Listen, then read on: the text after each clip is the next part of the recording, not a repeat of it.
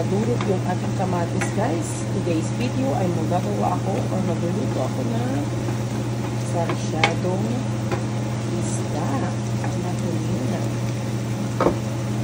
So meron ako ditong tulingan. Ayan, tatlong peraso guys na pinirito ko. And ito nga, gumawa ako ng ano yan, sarsa.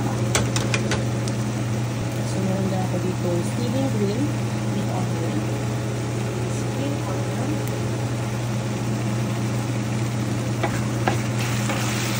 Hayaan natin siyang madurog or talagang magiging ano na guys, paste. Bago natin talaga ng water. So, ayan na guys, maglalagay na tayo dito ng water.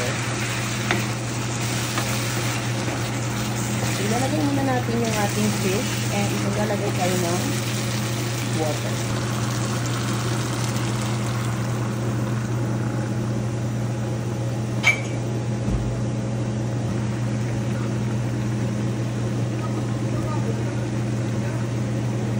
Sarsyadong tulingan.